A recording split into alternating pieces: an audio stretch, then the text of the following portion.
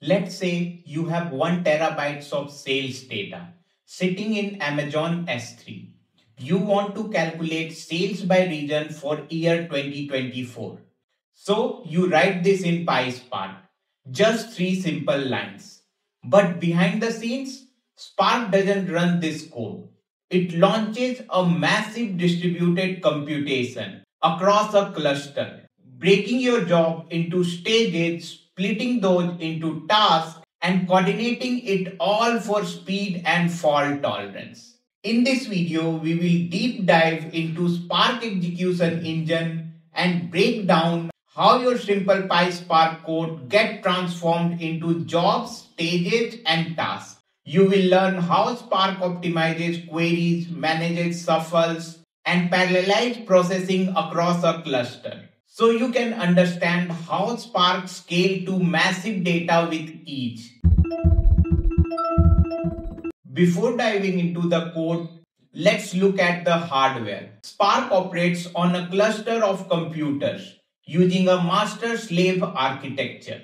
The master node or the driver node this is the brain of the operation.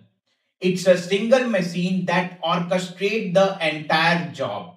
Worker node or slave nodes, these are the workhorse. You can have dozens or even thousands of these machines.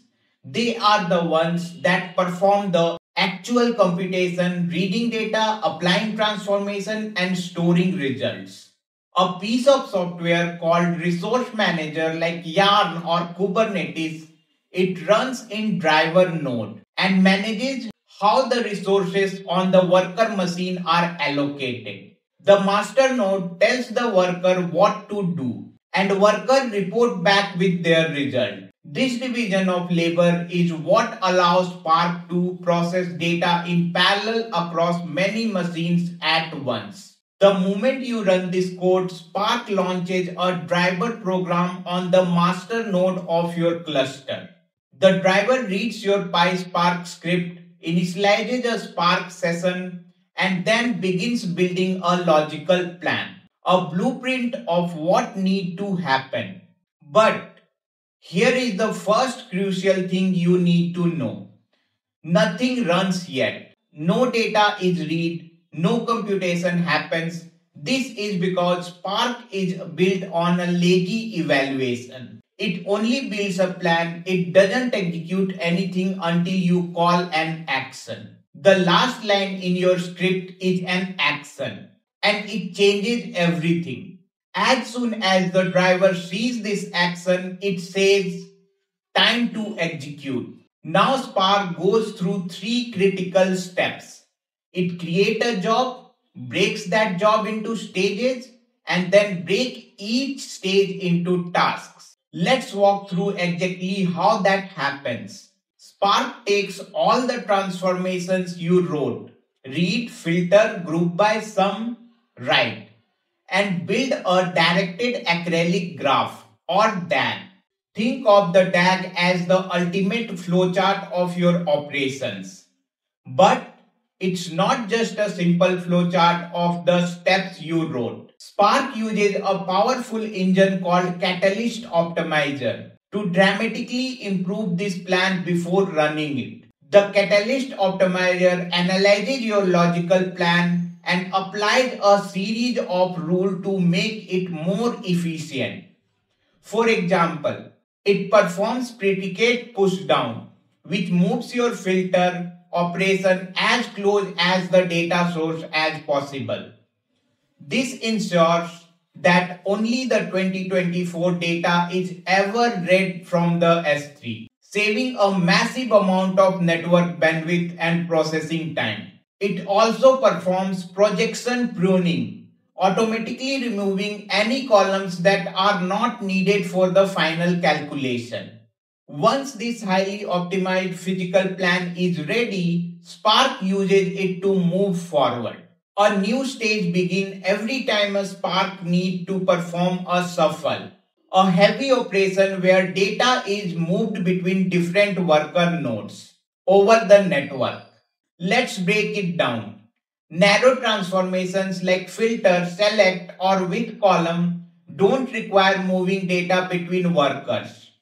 For example, if you have two worker nodes and you are filtering rows where year equal to 2024, each worker can do this independently.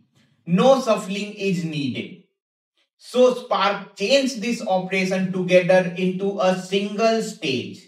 But wide transformations like group by or join requires reshuffling. Say you are grouping sales by region data for Asia or Europe might be spread across many workers. Spark must move related rows to the same node.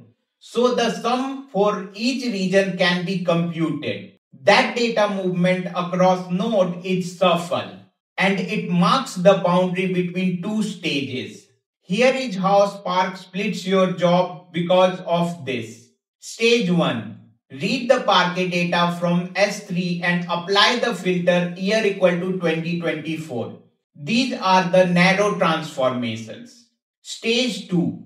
Perform the group by and sum which requires a shuffle and then write the results back to S3. Every time Spark needs to shuffle data, it creates a new stage boundary. So a rule of thumb one shuffle split the job into two stages. Now that the job is split into stages, Spark get down to the real work. Each stage is broken into a collection of individual tasks. Let's trace the flow step by step. First, stage 1. Spark sees your 1 TB of data is made up of 8000 partitions or files. So it creates 8000 tasks for stage 1. One for each partitions. All 8000 of these tasks go into a queue ready for the worker nodes. Spark's task scheduler takes over if you have 12 worker nodes with 8 CPU cores each, you have 96 core availables. The scheduler immediately assigns the first 96 tasks from the queue to this course and they begin executing in parallel. As soon as one task finishes, its core is freed up and the scheduler immediately assigns it the next task from the queue. This continues until all 8000 tasks for the stage 1 are complete. Each stage 1 task performs the same job on its unique data partition. It reads the data from S3, applies the filter, and writes its intermediate result to a local disk of its worker node. This is the data that will be shuffled. Now for the critical handoff, stage 2 cannot begin until every single task in stage 1 has finished successfully. Once stage 1 is completed, Spark moves on to stage 2. The number of tasks for this stage is not based on the input files anymore. It's determined by the shuffle operation and a setting called Spark SQL Shuffle Partitions, which defaults to 200. So Spark creates 200 new tasks for stage 2 and puts them in a new queue. The execution process repeats. 200 tasks get pushed to the queue. The task scheduler assigns these two tasks to 96 available cores. Each stage 2 task knows which intermediate data it needs. It pulls the relevant shuffle data from across the worker nodes, perform final group by and sum calculation, and writes its result as a single output file to S3. This is why you end up with 200 separate part files in your final output directory, one from each task in the final stage.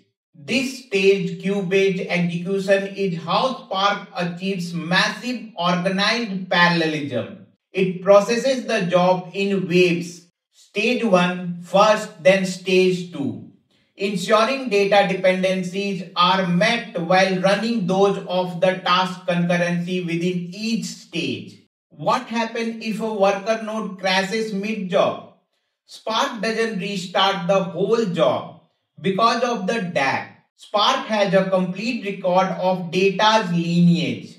It knows exactly how every piece of data was created it simply looks at what tasks were lost and reassign them to a healthy executor to be recomputed. The recovery is fast and targeted.